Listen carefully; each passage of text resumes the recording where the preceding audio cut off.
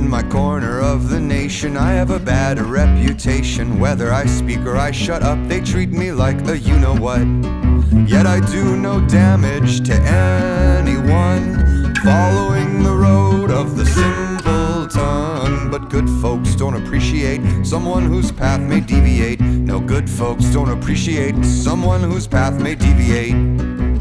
Everyone likes to curse at me, except the mutes, obviously. The morning of Independence Day, my cozy bed is where I lay. The music of the marching bands doesn't impress me worth a damn. Yet I mean no one any harm at all when I shut my ears to the bugle call. But good folks don't appreciate someone whose path may deviate. No, good folks don't appreciate someone whose path may deviate. They point the